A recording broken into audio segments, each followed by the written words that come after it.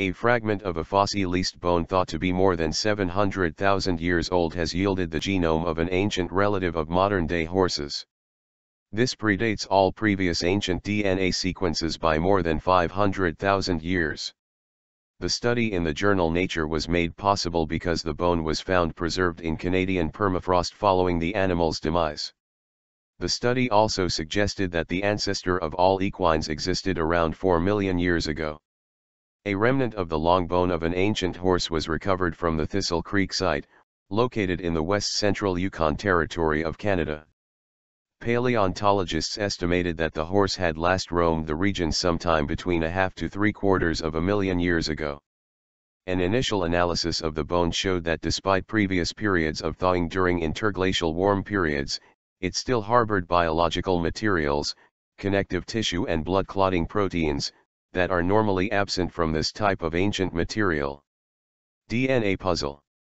And this finding was significant as study co-author of the paper, Dr. Ludovic Orlando from the University of Copenhagen, explained to the BBC World Service program Science in Action.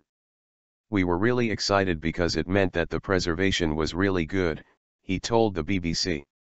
So at that stage we thought, let's try a DNA extraction to see how much of the genome we could characterize. The multinational team of researchers pulverized a fragment of the bone to recover its DNA, then subjected it to high throughput, next-generation gene sequencing to unravel the blueprint of this antediluvian mount. The first approach they tried resulted in relatively poor yields of horse-derived sequences, so they turned to a technology that could directly analyze single molecules of DNA. This proved far more successful, but they still had an abundance of data to plow through. Using high-powered computers and an existing horse genome sequence as a reference, the scientists sifted through the 12 billion sequencing reads to distinguish between DNA motifs belonging to the ancient horse and those from contaminating organisms, such as bacteria accumulated from the environment. From the resulting equine DNA fragments, they reconstructed a draft of its genome. Although the derived sequence data only covered around 70% of the entire genome, this was sufficient foundation for some revealing analyses. The telltale presence of Y chromosome markers showed that the Thistle Creek bone had belonged to a male. But the DNA also enabled them to reconstruct the evolutionary history of the larger Equus genus, which includes modern-day horses and zebras.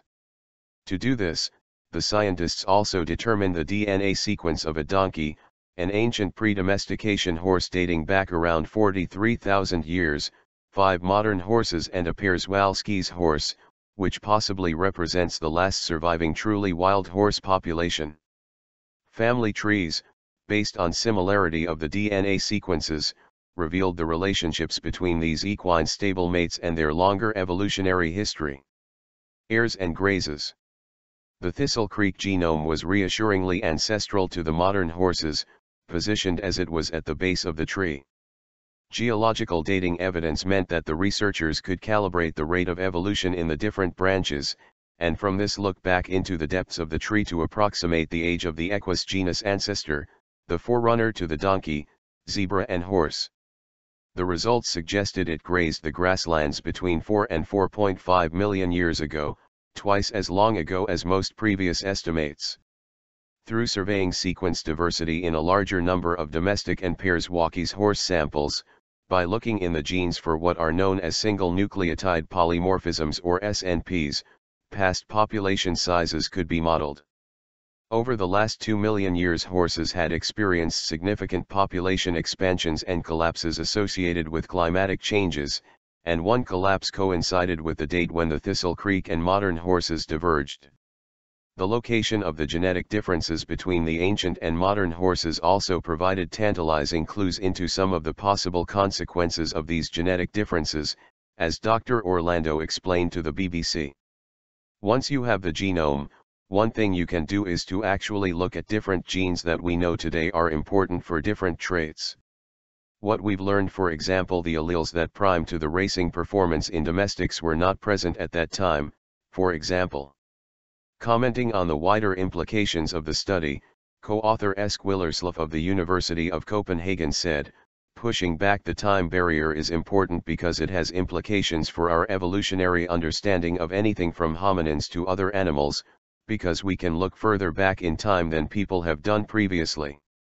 Paleoecologist Keith Dobney from the University of Aberdeen echoed the sentiment. There were many things we said wouldn't be possible in ancient DNA studies not that long ago, until next generation sequencing came along and all of a sudden everything has changed, and I mean everything, he said. Modern sequencing approaches and better fossil specimens will allow scientists to gaze further and further back into the mists of ancient evolution, and Professor Dobney said that procuring samples for future studies should not be a problem. You would be amazed how much material of this kind is actually out there. Museums are full of fossil material from all over the planet, caves are fantastic stable environments for preservation and some of the best preserved DNA has come out of cave deposits, he said. But would we recognize the equus ancestor as a horse? Even if you look at the Przewalski horse, which has a divergence time of only about 50,000 years ago, and compare it to the domestic horse, you can already see differences, observed Professor Willerslev. I would definitely say it would not look like a horse as we know it but we would expect it to be a one-toed horse.